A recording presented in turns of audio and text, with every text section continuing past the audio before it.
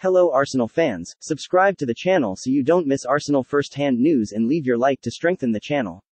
It is officially not trade season with the February 9th deadline in the rearview, but the NBA blogosphere is always thinking about the next blockbuster, though NBA Analysis Network's latest trade proposal involving the Boston Celtics would be an offseason error.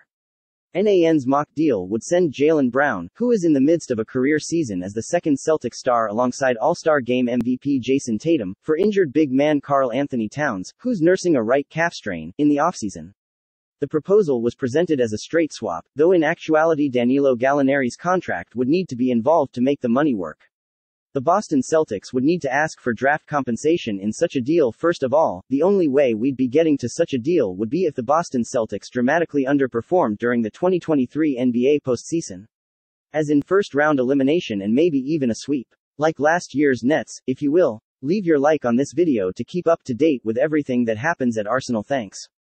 Continuing, in that scenario, Brown would be the top trade asset on the market and would hold more value than James Harden, Kyrie Irving, and Khris Middleton, who've all been missing double digit games the past two seasons for one reason or another.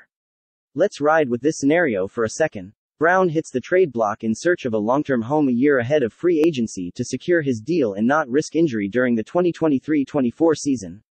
Brown looks capable of becoming a top 10 player, so getting a player whose postseason record isn't comparable like Towns would be a step down, even if Towns does hold supreme value as a floor spacing big who eats up rebounds and shoots the three pointer at a much higher rate than Brown.